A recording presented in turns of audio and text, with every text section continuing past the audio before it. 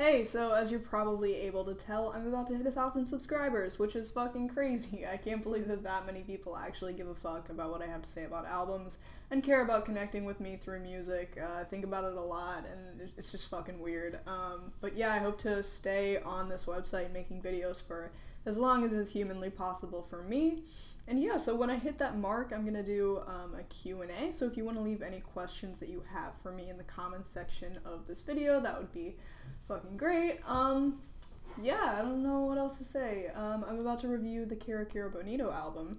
Um, and also probably come out with a video just talking about the direction I want to take my channel in from here pretty soon, um, which won't be that different. Still going to be reviewing albums, just adding a few segments here and there.